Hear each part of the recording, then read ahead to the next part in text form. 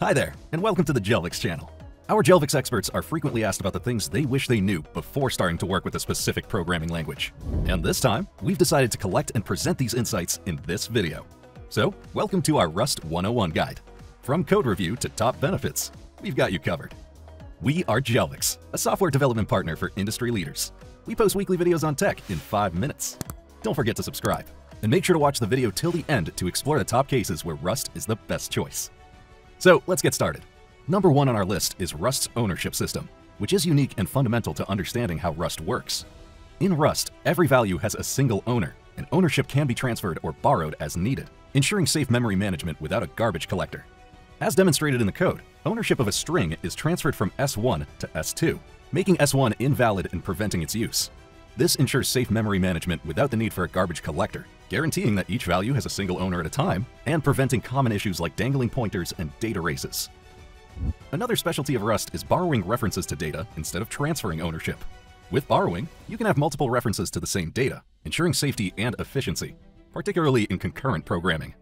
As an example, in this Rust code, the calculate length function borrows the string s1 using an immutable reference, allowing it to read and return the string's length without taking ownership. This borrowing mechanism ensures that S1 remains valid and usable in the main function after the function call. Number 3 on our Rust list is lifetimes. In Rust, there's a way of ensuring that references are valid for as long as they are needed, enforcing constraints and preventing issues like use after free errors. Check out this example.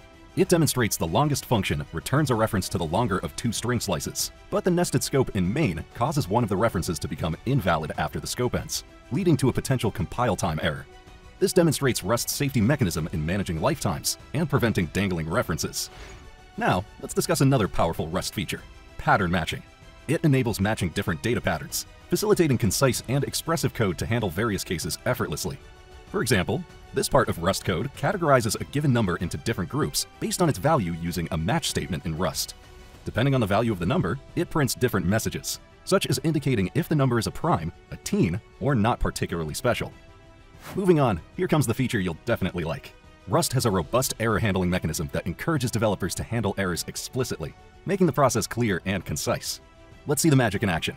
As demonstrated, this Rust code defines a function, read username from file, which attempts to read the contents of a file named hello.txt and returns either the file's contents as a string or an error. In the main function, it calls read username from file, printing the username if successful or an error message if there's an issue. As easy as pie, isn't it? If this isn't enough, let me tell you about concurrency and parallelism in Rust. Thanks to Rust ownership and borrowing system, writing concurrent and parallel code in Rust is safer and easier compared to many other languages, making it a great choice for building scalable and performant systems. Just look at this Rust code, demonstrating concurrent execution using threads. It spawns a new thread to print numbers from 1 to 9, while the main thread prints numbers from 1 to 4, showcasing parallelism in the program execution. Another important Rust feature is zero-cost abstractions, which allow for writing high-level abstractions without sacrificing performance.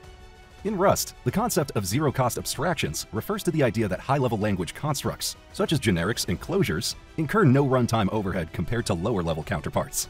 For instance, the apply function in the provided code demonstrates this concept. It accepts any function matching a specific signature without runtime cost. This showcases Rust's ability to optimize high-level constructs into efficient code execution without sacrificing performance. Another must-know essential is Cargo, the package manager and build system.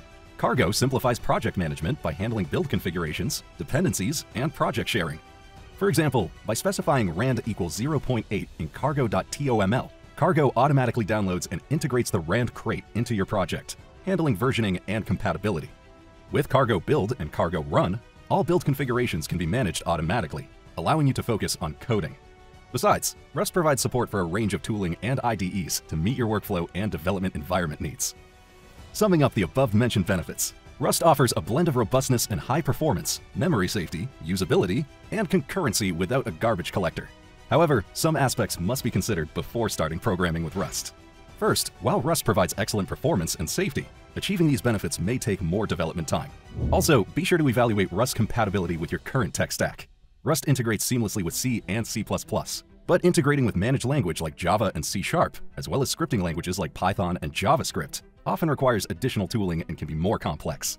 Also, Rust's advanced concepts like ownership and lifetimes contribute to its learning curve, particularly for newcomers to systems programming. Besides, maintaining Rust code requires proficiency in its features and best practices. However, you shouldn't stress out, as there are plenty of resources available to help you learn Rust, from books and tutorials to documentation and numerous community forums. Lastly, check out the list of cases where Rust might be a suitable option and when it's not. And if you're considering exploring other programming languages, check out our Node.js versus Golang video. Also, support us by liking this video and leaving a comment. And don't forget to subscribe and press the bell button. Bye for now.